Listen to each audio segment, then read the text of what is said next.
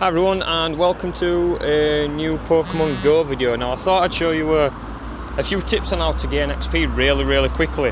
Now as you can see I'm in between two Pokestops which I've got easy access to and if I just click on them you will see, oh after this wild Pidgey, bear me a sec. I'll just catch this, this is good anyway, we're needing to catch as many Pokemon as we can so let me get into what else I'm doing. So I've got a lucky, a lucky egg activated which gives double XP to everything you do.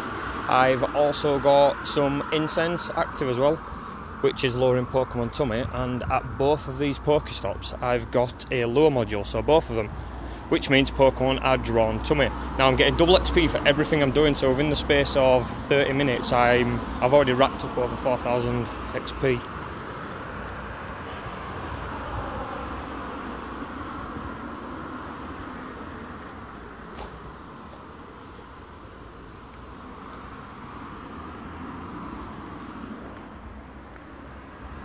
I think I've just passed another trainer there, I might say hello to him. So yeah, I'm pacing up and down and another sneaky little thing I'm doing is, if you've got enough candies to evolve any of the low the low evolution Pokemon like Caterpies and Weedles, just do it straight away because uh, the, the evolution bonus, which is a thousand points I think, that also gets doubled, so I'm flying up. So I just thought I'd share that with you.